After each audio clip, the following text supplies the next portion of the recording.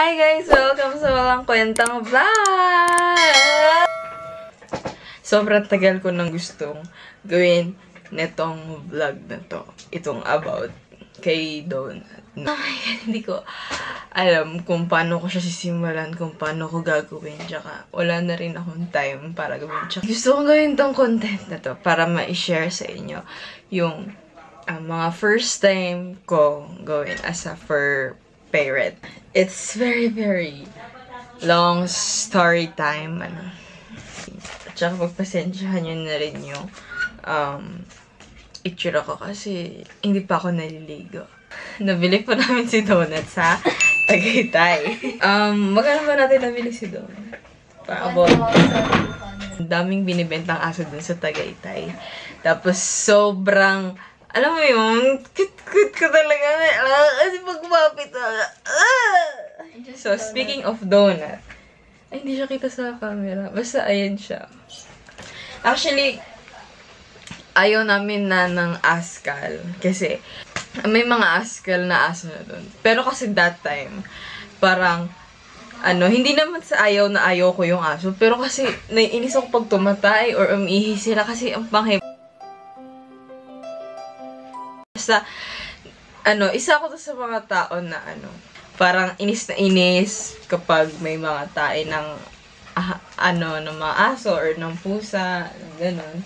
So, ayan, si Donut. Why are we still here? Just to suffer? So, yun nga, inis na inis ako doon sa ano, ganong, ano dati. Tapos ngayon, yung ganun palang mindset is nakakainis yung pag may ganun na tao na hindi niya ma-appreciate yung mga pets na kagaya nila or kahit ano pa. So, um, so yun nga, hindi si Donut yung um, gusto, yung ideal, ideal pet namin. Kasi ang hinahanap namin is Yung parang, hindi tumatay. parang Curly hair. curly hair. Hindi ko alam, Tapos parang, black and white. Gusto niyo pang pangalanan Oo. na panda. yon gusto namin siyang pangalanan ng panda. Kaya lang, ayun, 1,500. 500 tayo. Ika 500 kami. So, ano, unexpected siya. Parang spontaneous siya nangyari. Hindi, kuya, ano, tinanungan namin yung presyo. So, parang 4,000 yun. Mahal. So, di talaga namin kaya yun. So, kaya, ang tinanong ko na agad is, kuya, ano po yung, ano, mayroon po ba kayo dyan yung pinakamura? So, yun nga, binigay sa amin si Donut.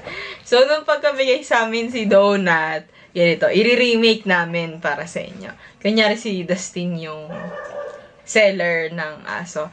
Tapos ako, nandun ako sa sakyan eh. Parang kinuha lang, inabot sa bintana. Ganun. So, sample. Kuya, ano pa yung pinakamura niyo dyan? Ito po, ma'am. Yan. Tapos kinuha ko siya. Tapos, natulog na kagad si Donut nung Tapos, pagkakuha ko. may mga aso pa sa gilid. Tapos, ang daming aso doon sa labas pa. And then, ang dami ring seller pa. Na, ito po, ito na lang po kuhain nyo. Ang dami, dami. Basta ang dami nilang sinasabi. Parang nagpupumilit sila. Bilhin namin lahat ng aso na. Tapos, edi, si Donut, natulog siya sa hita ko. Hindi ko alam siguro. Sabi niya, kama ba to? Laki. So, tulog siya buong biyahe. Elay nun, Tagaytay. So, sa Bulacan kami. Ano pangalan mo? Hmm, ano pangalan mo? Gusto ko marinig yung tahol mo. Oo na. Ano tumingin sa ano video? Ano? No, Dustin. Hindi siya umihi or tumae dun sa sakyan.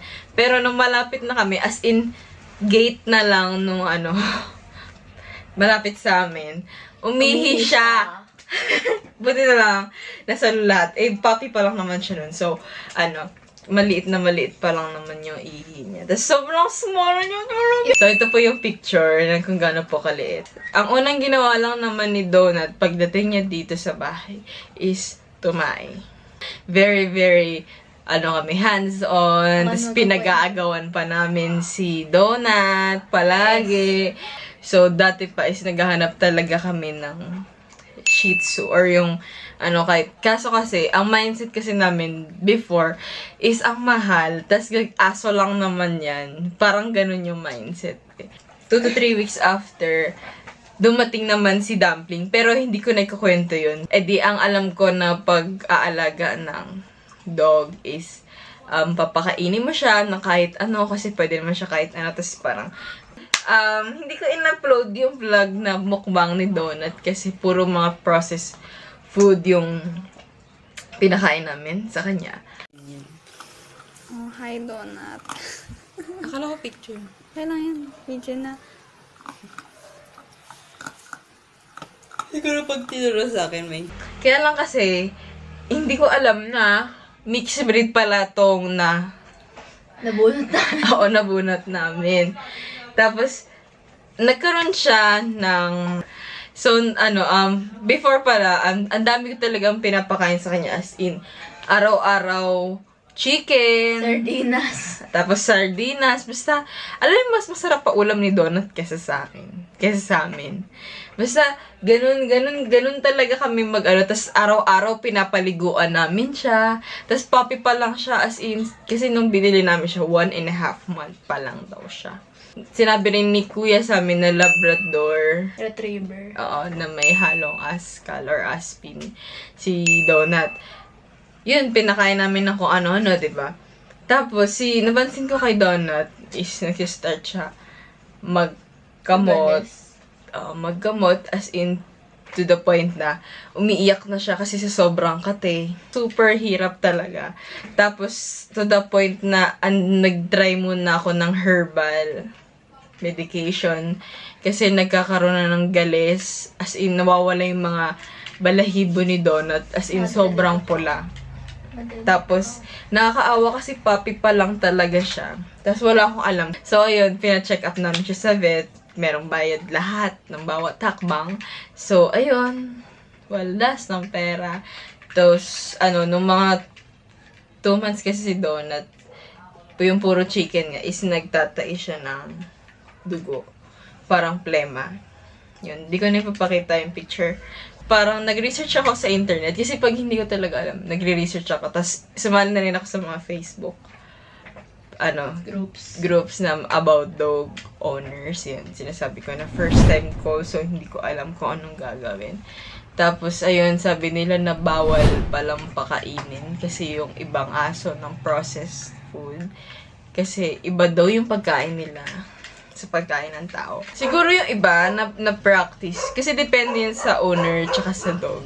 Kung naturuan nyo ng maayos tsaka wala namang allergy yung pet nyo sa pagkain, siguro okay lang. Hindi ko alam. Hindi ako expert, ba So, base lang sa naranasan ko kay Donut. eh, Nagpapa-deliver kami na Shopee ng kung ano-anong mga sabon para mawala yung gilis niya. Kasi hindi, na, hindi, ko, hindi na namin naagapan. As in, lumala talaga siya.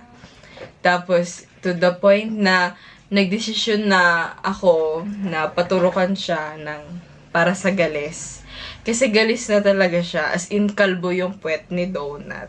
Yun, sabi ng vet is kailangan nang bumalik doon. Hindi ko alam, tatlo or apat na beses ata siyang dapat paturukan. So, December na noon, December crash.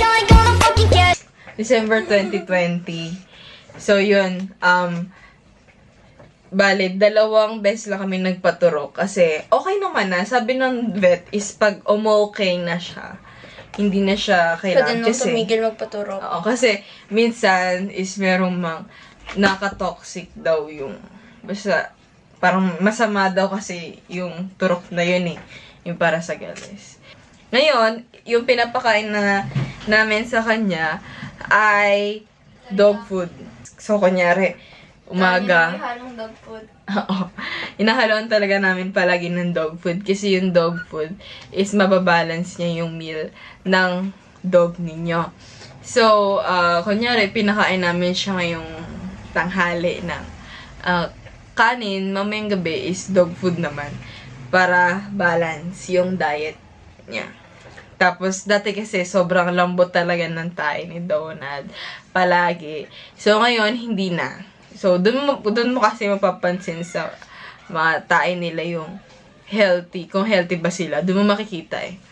So, ang alam na po ni Donut ng mga tricks ngayon is sit, stay, tsaka shake hands. So, marami-rami pa po kaming ituturo sa kanya. Six months na po siya. So, andun pa lang po kami sa process. Magsi six months?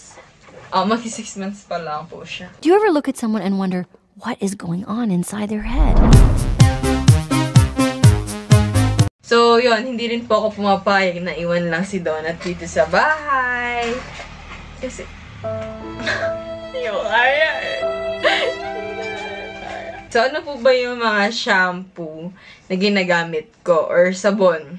So, dati nung medyo may budget pa, is meron, sinashampoohan ko at sinasabunan ko rin si Donut. Kasi, yung Madre de Cacao, nirefer siya ng vet. Alam niyo yun, para mag makatulong doon sa paggaling nung galis niya. Ang ginagawa ko doon sa mga galis part is, sinasabunan ko yun para direct. Tapos yung shampoo is yun yung kinakalat ko sa buong katawan. And then yung shampoo rin niya is Madre de Cacao. Yun. Tapos, di ba sabi ko nung una is parang araw-araw ko siyang pinapaliguan dalawang beses lang pala dapat paliguan sa isang linggo mga aso. Or isang beses nga lang eh. Meron din kami isang ginagamit na product in, ito yung Doggy's Choice. Ayan. So, nakakatulong din siya. As in, nalalaglag yung mga mga garapata ni Donut. So, lahat naman ng aso is nagkakaroon talaga ng garapata. Normal yun.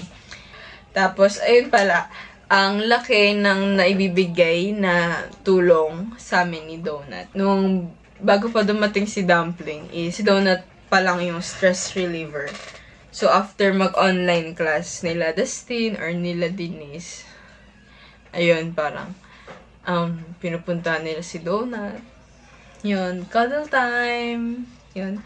So, ngayon kasi is dalawa na sila, si Donut tsaka si Dumpling.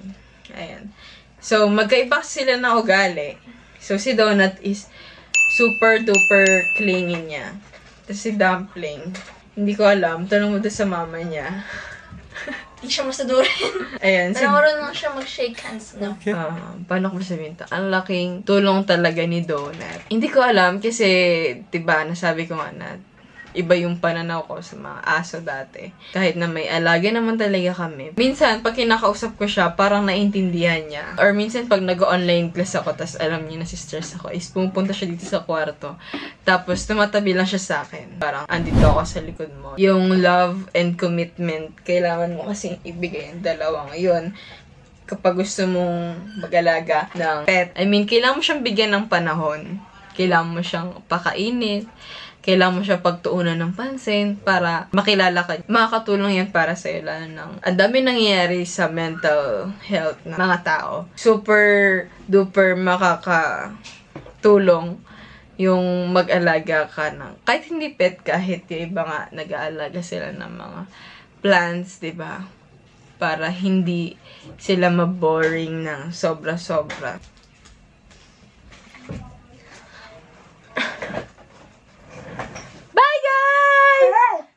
Bye-bye!